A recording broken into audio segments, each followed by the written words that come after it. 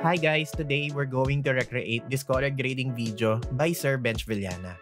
I'm going to show you my creative approach on recreating his real animation style using an After Effects template that I made, so you don't have to make one from scratch.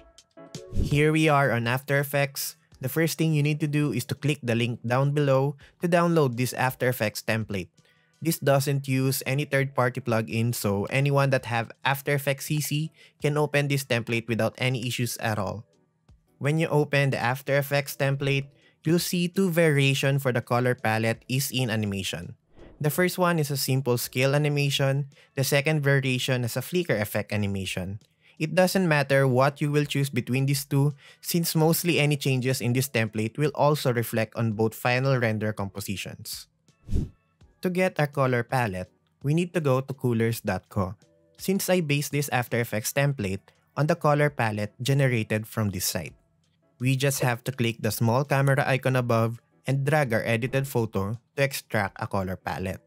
Since we need 6 colors for this project, you have to click the plus button to add another color.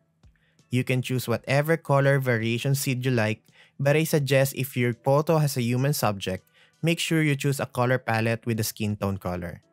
If you're already done, just click next and export the palette as image.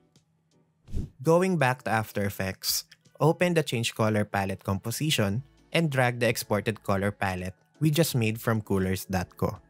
These colors will automatically reflect on 6 boxes on the two final render compositions as you see here.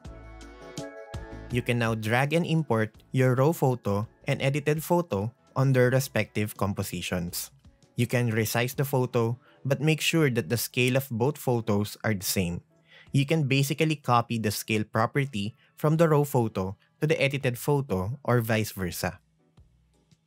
Open any of the two final render compositions, then click the control layer toggle list. Zoom in on the timeline where you can see the in and out keyframes for the color animation. Go to the first keyframe by clicking on the time ruler or by dragging the timeline playhead. On the Effect Controls panel, uncheck the color preview to disable the black and white filter so we can easily match the colors on the photo. Now, click the color 1 and on the playback panel, drag the color box anchor point to where it has a similar color on the photo. Do that again to color 2, but move the timeline playhead to the next keyframe. Repeat that step until you're done matching all the colors.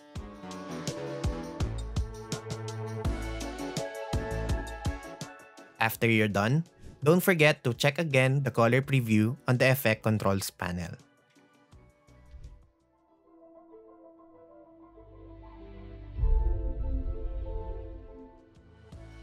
That's pretty much it. Thank you guys for watching and as well as to Sir Benj Villena for this video concept.